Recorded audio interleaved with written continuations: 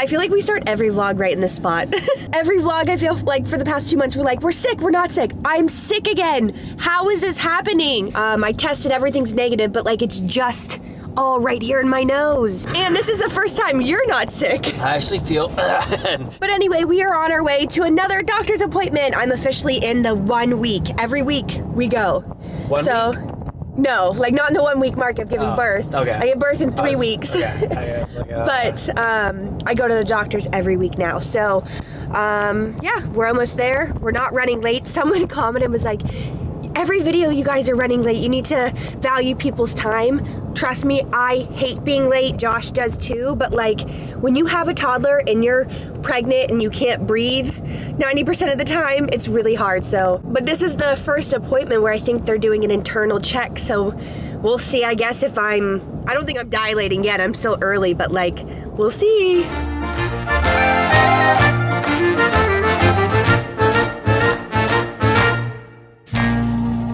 Alrighty, well, appointment went good. appointment went great. They're so fast, there's really not much. Luckily, this pregnancy has been super easy. Yeah, and what we did, a uh, quick little swab for strep.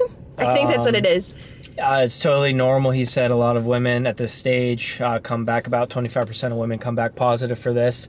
Um, and if so, we'll get you on an antibiotic. Uh, something, you know, we gave her a nice little scrub uh, to, Yeah, to help prevent infection. I got my Um, surgical scrub. It's getting real. It's getting real, and you just want to be careful. You just want to get this in the area they're going to be doing the surgery. You don't want to get it near your private parts or anything like that because it will dry you out. So um, we'll just be uh, strategic on that. I didn't get to use this with Poppy because I had like an emergency C-section, but I used it after, right, Yeah, to he- yeah, for yeah. my my scar. So, um, yeah, we got this on hand. Three weeks. Three weeks.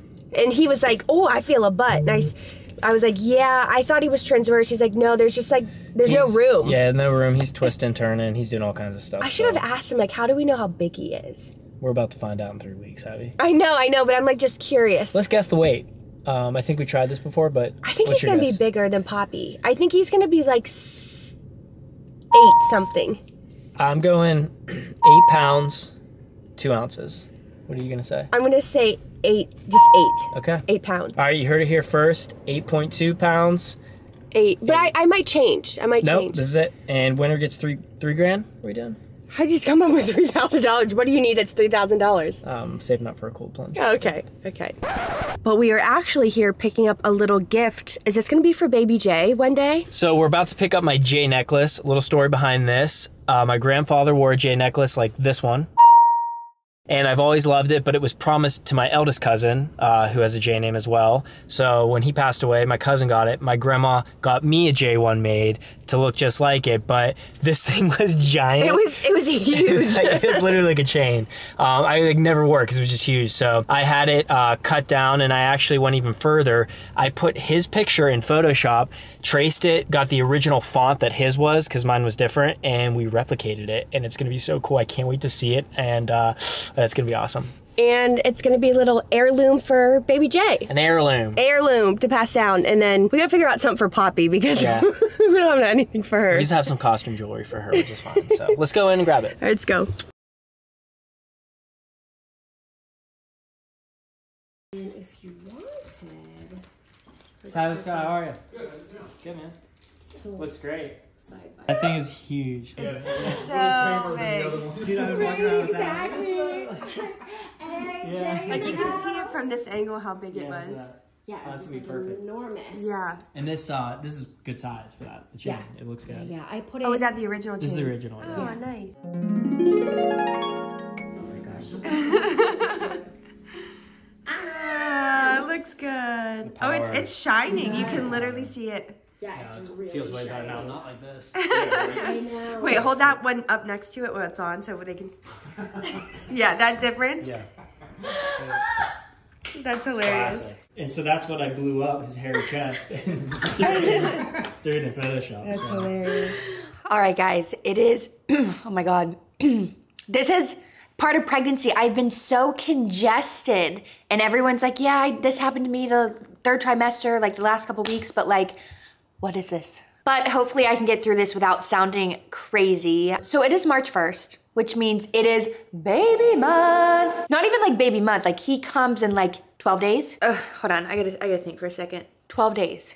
Okay, maybe I'm not ready to film this. All right, let me compose myself because it's like really hitting me. So I have the house to myself right now. Poppy is at Cece's house. Josh is outside doing things. And I was just like sitting here thinking, And I was like, I haven't really talked about this on YouTube. I kind of talked about it a little bit on TikTok and I've made videos about it. This has been my number one question or like people just not understanding. So I thought I would just sit down and like explain why I'm doing this and why this is happening and what's going on because he will be in this world in my hands in like 12 days or sooner. So um, I feel like now's the time to talk about it.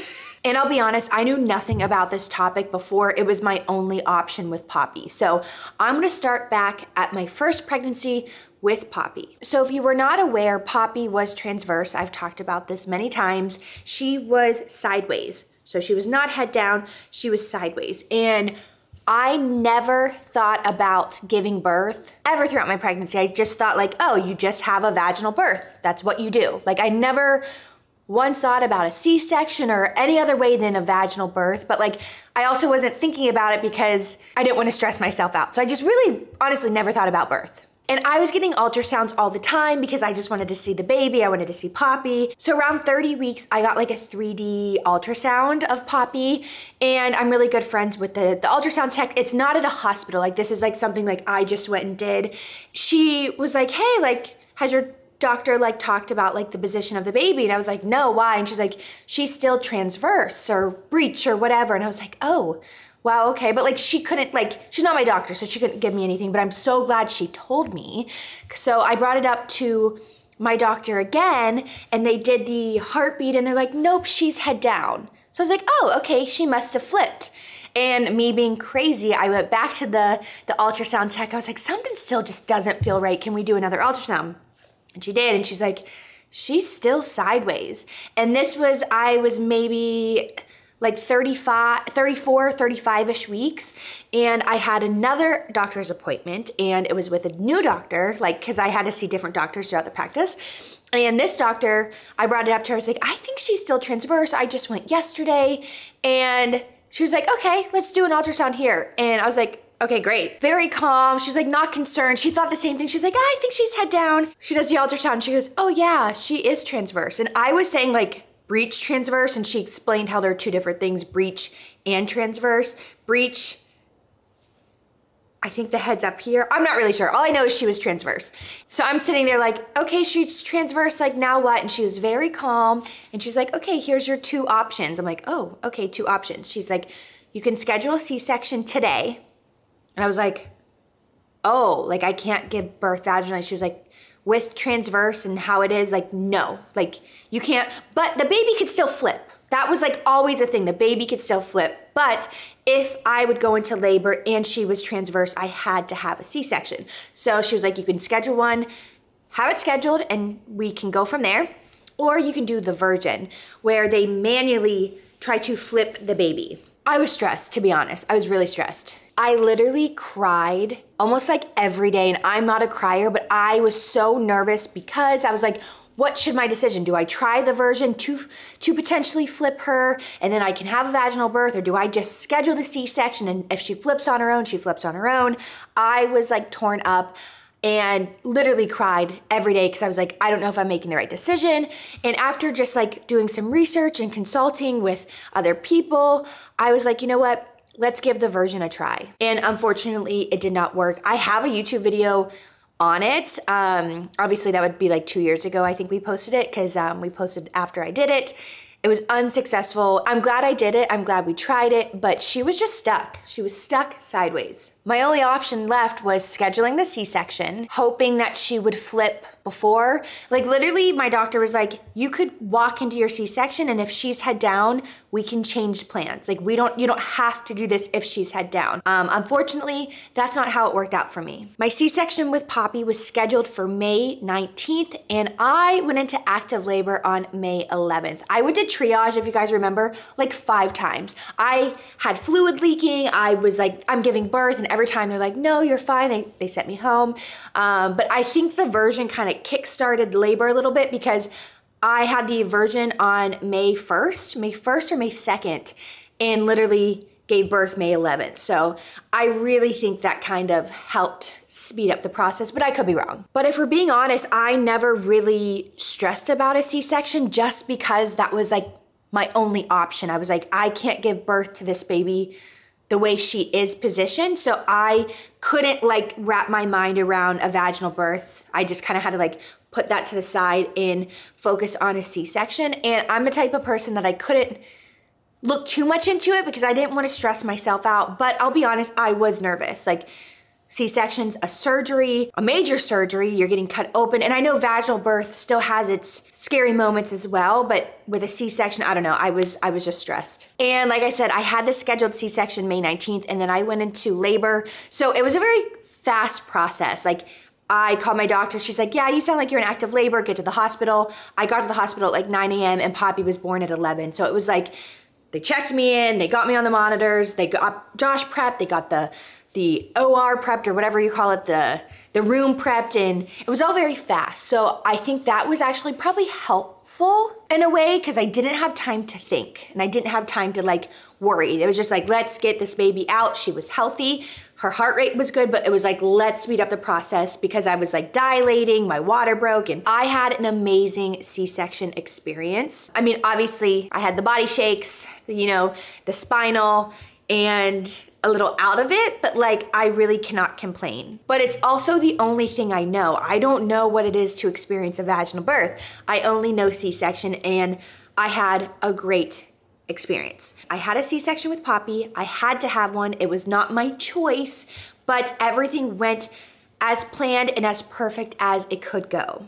So then I get pregnant with baby number two. Everyone's asking me, Are you doing a VBAC, VBAC, V, VBAC, this whole VBAC? And I was like, I don't know. I literally was like, I have no feeling towards anything, which VBAC is vaginal birth after cesarean or after C section.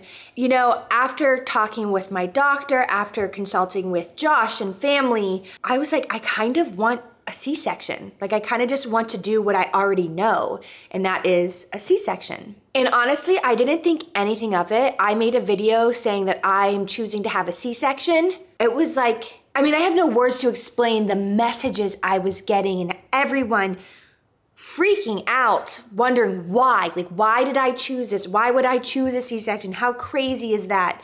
And like, it was a lot of like negative feedback. And I was like, wow, like, I didn't think anything of it. I was like, I'm just doing what I know, and that's a C section. And honestly, my C section wasn't even two years ago, and they tell you to wait to get pregnant. Like, I remember I wanted to be pregnant like when Poppy was like six months old and I thought I had a little scare. I thought I was pregnant. Not a scare, but like I thought I was pregnant.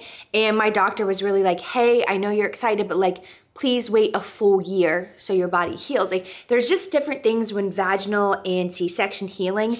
I don't know all the facts, so I don't want to say anything or like I don't want to give out misinformation, but I just know they highly recommend you waiting like a year or more after a C section. And my C section will be two years ago in May. So Poppy turned one, and then I found out I was pregnant like two months later. It was definitely just like a process, and you know, there's pros and cons to both. You cannot go wrong with doing a VBAC or a C section, but for me, the pros just looked better as a C-section. And I just never thought I would be like sitting here making this video, but then after all the feedback I got, and then there wasn't just all negative, I got a lot of positives where they were like, yep, two time, three time C-section mom here. I chose it after my first one. And I was like, thank you. Like, I thought I was like, I'm like, am I making the wrong decision? Like, am I being crazy? But I had a lot of people that have experienced the same thing that I'm going through as well. So that made me feel comfortable and that made me want to like talk about this more and be like, it's not bad to choose to have a C-section. My biggest fear is trying for a VBAC, like a vaginal birth having to have an emergency C-section because something happened, my uterus, I don't know, like uterus can explode or I don't know, I'm being dramatic, but like something just happening or like him not fitting and or tearing or or him getting stuck or I don't know. For me, I'm like, why try when I could just have the C-section? And I know that's so weird to say, but I don't need to give an excuse. But um, that was my, that's honestly my reasoning. I'm like, I don't want to try for a vaginal go through labor, go through all this, and then have to have an emergency C section or, you know, I don't know. There's so many things that can happen, but um, yeah, I think for me and my experience is just going with what I know, and that is a C-section. And like I said, I I know a C-section. Josh knows a C-section. Like we know the process, and there were some cons to having a VBAC of me just freshly having a C-section a year ago. So I don't know. Just for me, I just wanted to go this route, and I really wish I had like more details to give you, but it's really not. Like, and you shouldn't have to justify how you want to give birth. If you want to give birth at home, if you want to give birth in your bed, if you want to go to the hospital, if you don't want, if you want to do a midwife, if you don't want doctors, if unmedicated, like there's so many ways to give birth, but I don't know why C-section, for me, at least what I've experienced and the feedback I've received has been so negative and so like I, I don't know. That's just how i feel. Maybe maybe i'm just taking it all in. There can be pros and cons to any way of giving birth i think in my mind i'm just looking at it as the positive and that is what we're gonna do. So yeah, we have a scheduled C-section March 13th, like I said, is in a couple days, which is literally mind-blowing.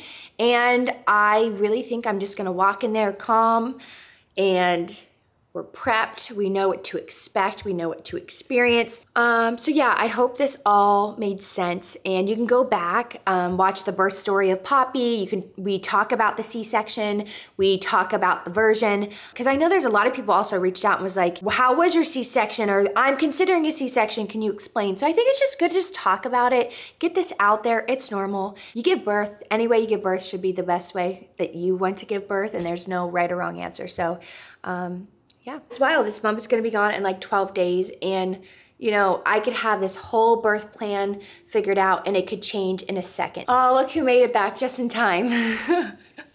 Come on in, if I can scooch you over. so how do you feel about C-section? I'm excited, uh, nervous, worried, happy. Yeah. Uh, It's all the emotions in one. Uh, I think going into it, having experienced it with Poppy, it lessens those nerves a little bit. They're still there. And that's what I was trying to explain. Like, it's kind of what we know, and that's why we chose it. There's no right or wrong answer. Uh, that being said, we have to go pick Poppy up. Yeah, I know. Uh, and uh, we got a lot to do. So thank you guys so much. We love you. We'll see you next time. See you guys next time. He'll be here next time, potentially. Yes. Oh my god, oh my god, this is crazy. We'll see you at the hospital. Oh god.